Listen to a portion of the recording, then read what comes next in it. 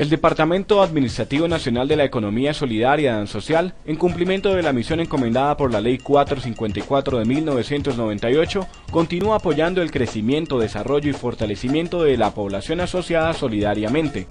Por esta razón, el día primero de abril se llevó a cabo en sus instalaciones una reunión orientada a socializar el proyecto de conformación de la Confederación Colombiana de Mujeres Solidarias, a través de la cual se fortalecerá e incentivará la participación de las mujeres integrantes de comunidades vulnerables en la toma de decisiones en los diferentes niveles estatales, buscando mecanismos que les permitan mejorar sus condiciones de vida. Prometida que la reunión de hoy ya les dábamos días y fecha, qué día empezábamos la gira a nivel nacional para reunirnos y empezar este proceso allá porque ya hemos, incluso ya nosotros estamos pasado de tiempo y es parte de lo que nosotros estamos intentando de que el programa propuesto por Dan Social ha recibido especial aceptación por parte de diversas organizaciones de mujeres e instituciones tanto de carácter regional, nacional e internacional, como el caso del líder en derechos humanos y democracia a su mujer y trabajo de Estados Unidos, Elvis Racines, quien además de su visita como delegado al BID, se refirió a este importante evento. Préstamos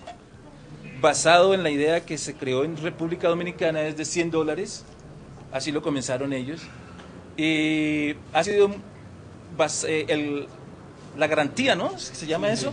Para el préstamo ha sido el honor. El honor de la persona, sí. Y yo creo mucho en el honor de la persona. Que si yo doy mi palabra, que si tú me prestas 100 dólares, yo te lo voy a devolver. Esta oportunidad la aprovechó también para realizar la donación de un computador portátil a Virgelina Chará, de A Su Mujer y Trabajo, quienes están en el proceso de dotar sus espacios con herramientas como esta. Bueno, entonces esto, ya no es mío. Muy bien, muy gracias. Muy bien, Esto es para, para el proceso, para la Secretaría Técnica, porque entre otras como organización a nosotros nos toca conformar, es parte del proceso conformar una Secretaría Técnica donde vamos a necesitar una serie de equipos, no es solamente el computador, sino muchas cosas más.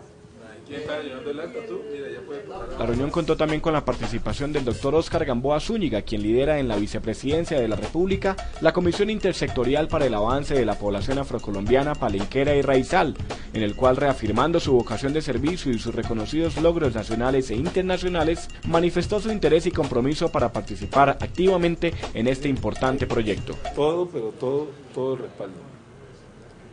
De todo, pero todo el compromiso porque el respaldo también es una palabra bonita y respaldo puede ser rezar para que le vaya bien.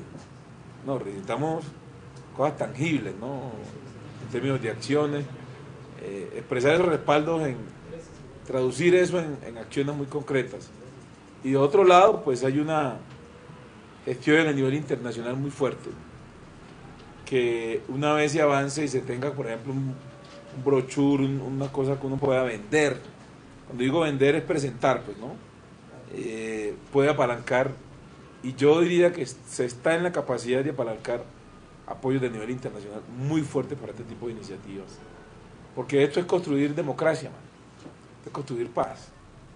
Y yo en lo personal, pues yo ya lo he manifestado aquí a, a Oscar, a Rosenberg, y, y, aprovecho para decírselo a ustedes. Yo a partir de la fecha me convierto en un, sin ser mujer, pero en un, en un eh, aliado, en un asociado virtual, eh, pero en la perspectiva de, de poner toda mi, mi artillería pues en, lo que pueda hacer para que esto se engrandezca y se, y se consolide. ¿no?